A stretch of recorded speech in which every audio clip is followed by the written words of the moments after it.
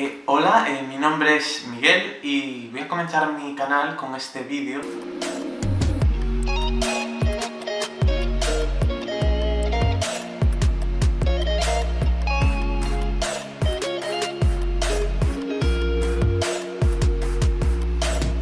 Hola, me llamo Mía, soy una chica transexual. Eh, empecé mi transición en 2017 y quiero compartir con vosotros eh, bueno, mi cambio, eh, cómo, han, cómo han sido los resultados y cómo he llegado hasta donde estoy ahora.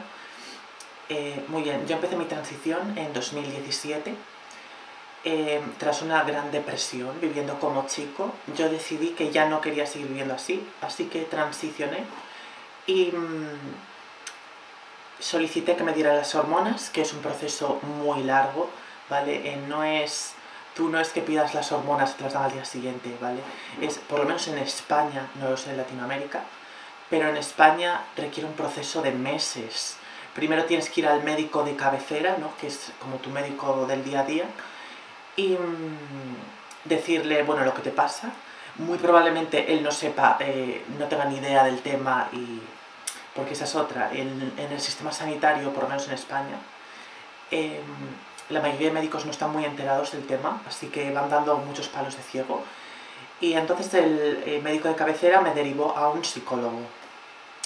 Este psicólogo eh, me vio y claro, de nuevo, no tenía ni idea del tema y me derivó a un psicólogo que sí que sabía del tema, pero estaba en otra comunidad autónoma en España, es decir, no estaba ni en la misma ciudad, ni en la misma región, ¿no?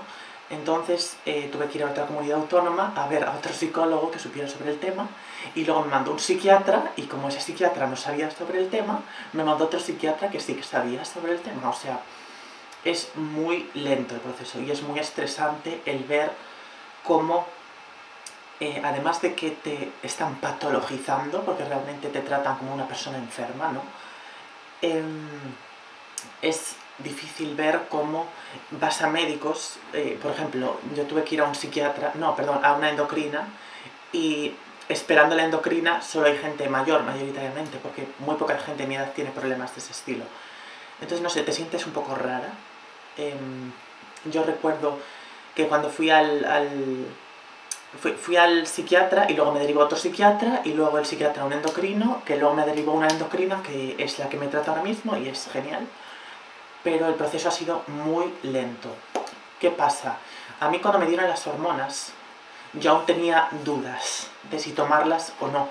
Es decir, no me atrevía a dar el paso del todo. Yo con mi transición al principio tuve bastante miedo y bastantes dudas. Mm, pero bueno, eh, empecé mi tratamiento hormonal en...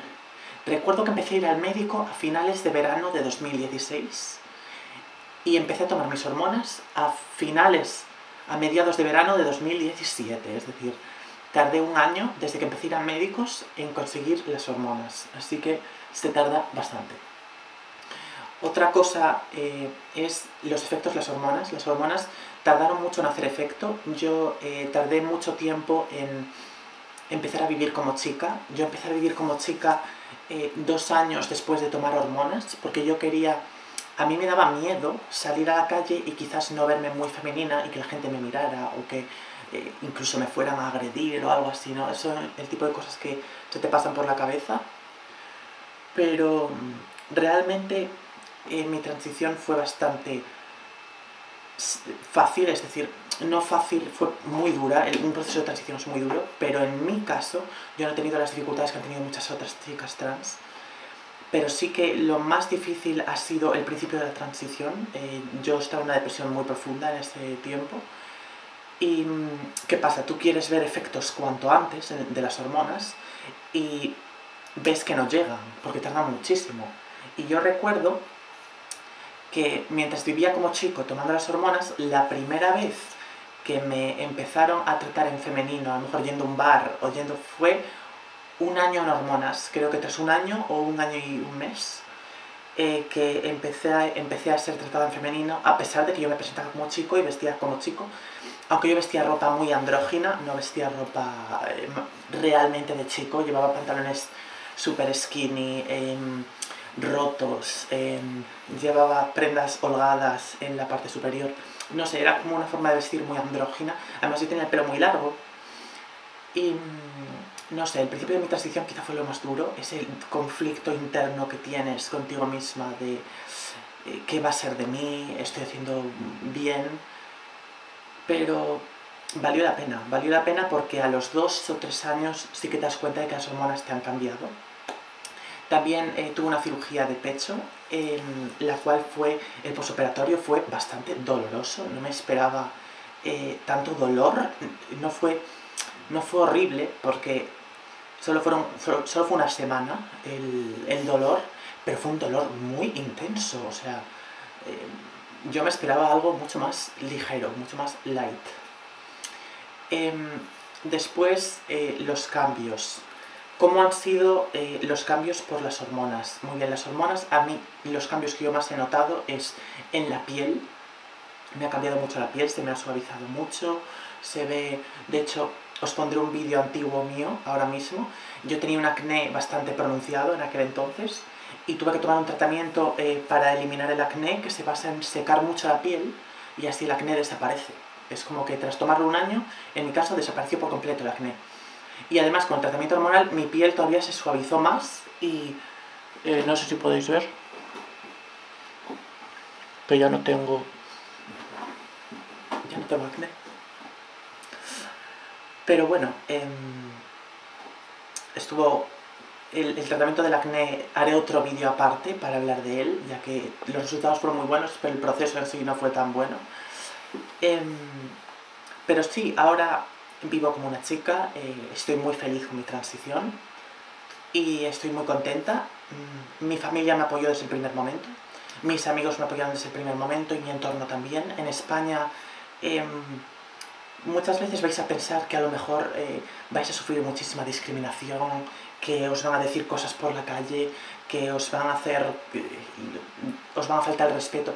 Y si bien es cierto que vais a notar siempre como que no encajáis, eh, no, sé cómo decirlo, pero hay ese, no sé si es paranoia mía, pero siempre notas como que esa paranoia de eh, la gente lo nota, eh, no sé, yo tengo mucho esa paranoia todo el tiempo de la gente me está mirando, la gente lo nota, eh, en este ángulo se me ve muy masculina o en este ángulo se me ve eh, muy poco femenina. Bueno, eso es una paranoia que todas vamos a pasar. Y que realmente la transición es más bien un duelo interno, ¿vale? Es más como tú eh, pasas ese proceso de aceptarte y de ir dejando atrás el ser un chico y pasar a ser una chica, ya que esa es otra, el cambio de chico a chica por parte de la sociedad, cómo la sociedad te trata, cómo la sociedad te ve. Eh, cambia muchísimo. Eh, yo recuerdo que cuando empecé a, a parecer más chica, bueno, para mí yo he sido una chica siempre, ¿vale? Pero bueno, me explico. Em, cuando empecé a, a, verme más femenina, notas que los hombres son más amables, sobre todo el trato de los hombres hacia ti cambia dramáticamente. Son mucho más amables, quizá un profesor de la universidad es más amable, no sé si yo me lo imagino, yo creo que no me lo imagino. Y sí que notas ese eh, cambio, sobre todo por parte de los hombres. Y por parte de las mujeres, sí que notas como que mm, te ven un poco como, dejas de ser su amigo gay a ser un poco como la competencia. Eh, no digo que todas sean así, pero sí que notas que ya no, esa amabilidad que antes había y esa complicidad ya no es tan evidente. Ahora las chicas, si eres demasiado coqueta o si eres demasiado excesiva eh, vistiendo, quizá alguna chica te haga un comentario o incluso le parezca mal. No lo sé, me parece un poco hipócrita y creo que a las chicas se las ha educado mucho en el sexismo y eso es un síntoma, ¿no? El, competir por ser la más bella o eh, ver a las otras chicas como competencia, no sé. Em, eso es algo que no me gusta. Y mm, bueno, los cambios eh, de las hormonas que experimenté más fuertes, como dije, fueron la piel, en la masa muscular. Eh, la masa muscular, como podéis ver, mis brazos son mucho más finos que antes. No sé si tengo vídeos o fotos anteriores, pero la masa muscular disminuye muchísimo, ¿vale? De hecho, cuando empecéis a tomar las hormonas, eh, parte del tratamiento hormonal es... Em, bueno, si las tomáis, Em, es bloqueadores de testosterona y de bloquear la testosterona la masa muscular disminuye. Eh, las chicas tienen mucha menos masa muscular que los chicos por eso, por la testosterona. Y, porque los chicos tienen testosterona y las chicas no, vaya. Y mm, vais a notar que vais a perder solo peso de la nada. Y ese peso que estáis perdiendo es músculo, porque el peso, el músculo creo que pesa más que la grasa o lo mismo, bueno, no lo sé.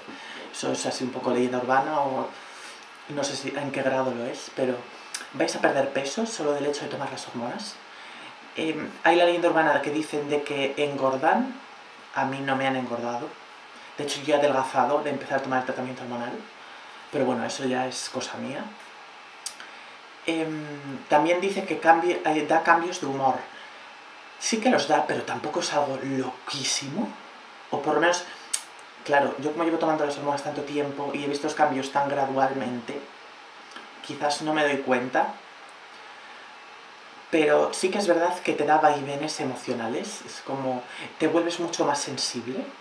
De hecho, hay un test de personalidad que se llama el test de las 10 personalidades, y yo, cuando era chico, me lo hacía porque era muy preciso. Y lo podías hacer 20 veces que siempre te iba a salir lo mismo, ¿no? Bueno, pues antes me daba un tipo de personalidad que era ENTP. Y ahora, tras estar en hormonas 3 años, tengo otro tipo de personalidad que es ENFP. Y creo que cambia de que eres como más... No, no sé qué cambiaba exactamente, pero como que eres más emocional. Y sí que es verdad que las hormonas te hacen más emocional, te hacen más que afectan más las cosas, eh, no sé, te vuelven más, las cosas que te entristecen, te entristecen más, em, sientes quizá más empatía si ves a alguien sufriendo, no, lo sé, no sé en qué grado me lo imagino, pero de hecho mi madre a mí me dice que desde que tomas hormonas estoy más tranquila y estoy menos exaltada, menos alterada. Y mm, nada, em, yo además em, de las hormonas he tenido cirugías y una cosa que te cambia mucho es el mero hecho de saber vestirte, de saber maquillarte, de, de cómo te maquilles, de cómo te vistas, qué prendas lleves, ya te feminiza muchísimo porque yo recuerdo que solía pensar cuando empecé la, transición que eran solo las hormonas, lo único que te feminizaban las hormonas. Pero el maquillaje, la ropa, las hormonas, las cirugías, es un conjunto de todo, ¿vale? No es algo, em, no es algo mágico, que son las hormonas, o sea, quitaros... Eh, las hormonas te van a ayudar mucho y vas a feminizarte mucho, pero son una parte del cambio, ¿vale? Em, después, los chicos, eh, mi experiencia con los hombres es como total, radicalmente distinta, ya que ahora siendo una mujer, eh, bueno, pues mi vida amorosa es como 40.000 veces más, más activa, antes era inexistente. Entonces, en este cambio también ha sido muy radical en mi vida.